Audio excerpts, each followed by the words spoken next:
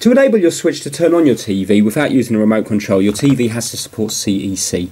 Now, on the Nintendo Switch, we have to go to System Settings, we have to go down to where it says TV Output, and then we need to go to Match TV Power State and make sure that that is turned on.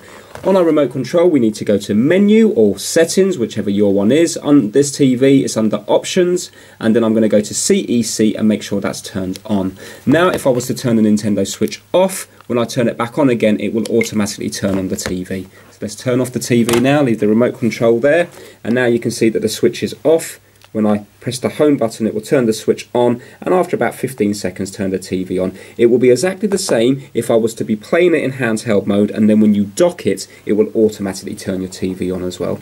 And then, what it should allow is when you turn off your TV, it should also then turn off the Nintendo Switch. There you go.